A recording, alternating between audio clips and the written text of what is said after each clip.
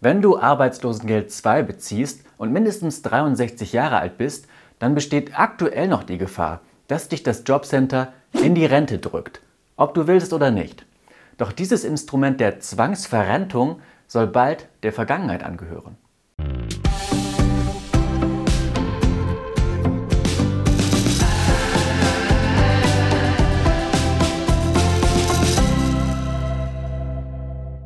Hallo und herzlich willkommen beim SoVD Schleswig-Holstein. Ich bin Christian Schulz.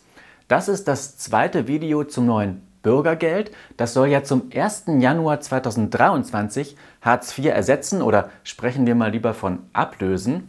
Wenn du das erste Video nochmal sehen willst, in dem ich so die fünf wichtigsten großen Veränderungen gegenüber von Hartz IV erklärt habe, dann kannst du hier oben auf den Link klicken.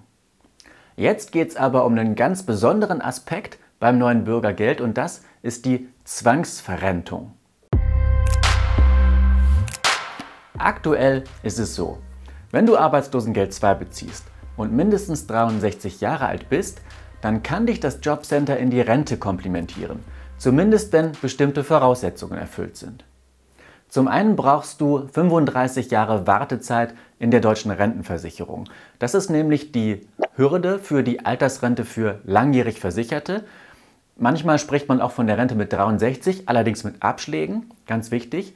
Und wenn dein Arbeitsvermittler dir das so sagt, also wenn du diese 35 Versicherungsjahre voll hast, du bist mindestens 63 und der sagt eben, stell mal einen Rentenantrag, dann musst du dem auch nachkommen, denn Hartz IV ist immer nachrangig. Das heißt, wenn du deinen Lebensunterhalt von irgendwas anderem bestreiten kannst, zum Beispiel über so eine vorgezogene Altersrente, dann musst du dem leider nachkommen. Besonders ärgerlich ist in diesem Fall, dass diese Altersrente für langjährig Versicherte, wir haben es gerade schon angesprochen, mit Abschlägen bewertet wird. Das bedeutet, jeder Monat, den du vor der Regelaltersgrenze in die Rente gehst, kostet dich 0,3 Prozent deiner Bruttorente. Ausnahmen von dieser Zwangsverrentung gibt es zwar, aber nur in ganz bestimmten Fällen. Zum Beispiel, wenn du jetzt in den nächsten Monaten eine Arbeit aufnehmen kannst oder wenn du Aufstocker bist, das heißt, entweder hast du einen Job, der aber nicht reicht, damit du deinen Lebensunterhalt ähm, bestreiten kannst, oder du bekommst zusätzlich zum Hartz IV noch das Arbeitslosengeld I. In dem Fall kann dich, die, kann dich das Jobcenter nicht in die Rente drängen.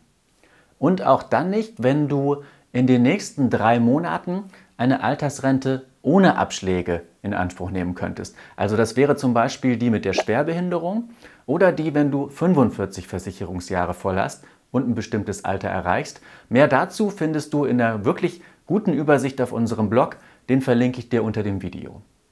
Und die letzte wichtige Ausnahme von dieser Zwangsverrentung besteht immer dann, wenn deine Rente mit Abschlägen so niedrig wäre, dass du voraussichtlich dann mit der Rente trotzdem noch auf Sozialleistungen angewiesen wärst. Dann wäre nämlich diese Zwangsverrentung unbillig, ein sehr sperriges Wort. Und deswegen stehen diese ganzen Ausnahmen, die ich jetzt gerade vorgetragen habe, in der sogenannten Unbilligkeitsverordnung. Die verlinke ich dir auch unter diesem Video. Doch mit diesem Instrument der Zwangsverrentung soll bald Schluss sein. So steht es zumindest im Gesetzentwurf zum Bürgergeld und darin steht ganz konkret, dass ab dem 1. Januar 2023 keine Zwangsverrentungen mehr möglich sein sollen. Allerdings nicht für immer, so sah es noch im ersten Entwurf aus. Jetzt gibt es da so eine Deadline und die geht bis zum 31.12.2026. Mit anderen Worten, wir wissen nicht, wie es 2027 weitergeht. Da hat die Politik sich so eine kleine Hintertür offen gelassen. Und da könnten eventuell wieder Zwangsverrentungen möglich sein. Aber aktuell wichtig ist, Ab dem kommenden Jahr ist es nicht mehr möglich, dann darf dich das Jobcenter nicht mehr in die Altersrente, in die vorgezogene Altersrente drängen. Ausführliche Infos zur vorgezogenen Altersrente, zu den Abschlägen, wann du diese in Anspruch nehmen kannst, habe ich in diesem Video erklärt. Für heute war es das. Ich hoffe, du konntest einiges mitnehmen und ich sage ciao und bis bald.